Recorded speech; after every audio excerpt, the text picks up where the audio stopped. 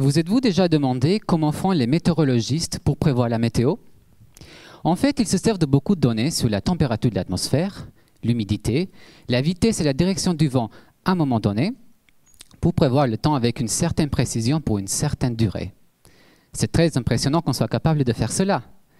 Et si on était capable de faire le même dans le domaine de la santé, et notamment dans la prise en charge du cancer du sein?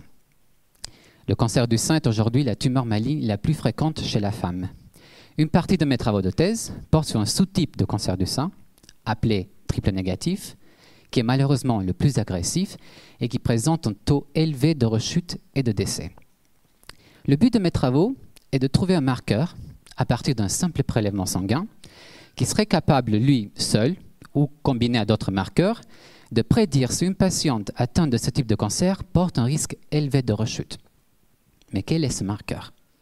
Vous avez sûrement déjà entendu parler des globules blancs. Ces petites cellules qui circulent dans le sang reflètent l'état général de l'immunité de l'organisme. Plusieurs études ont montré que les taux des globules blancs pourraient avoir un rôle prédictif dans plusieurs cancers, y compris le cancer du sein.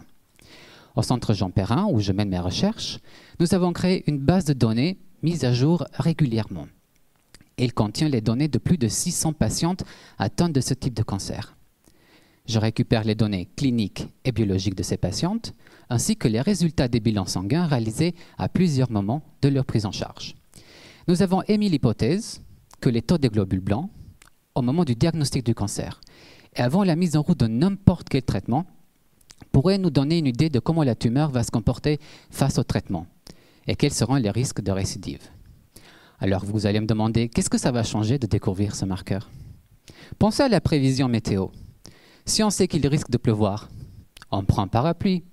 S'il est prévu que les températures baissent, on met des vêtements chauds. S'il est prévu de faire trop chaud, on évite de sortir au soleil, on pense à bien s'hydrater. Actuellement, la prise en charge du cancer du sein triple négatif est la même pour toutes les patientes.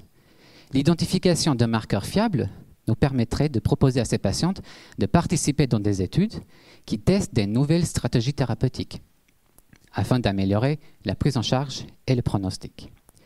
Nos connaissances sur le cancer du sein ne cessent d'augmenter. Nous espérons aller vers un avenir où prédire l'évolution de cette maladie complexe sera simplifié et nous permettra d'anticiper les perturbations météorologiques afin de bien nous y préparer. Merci.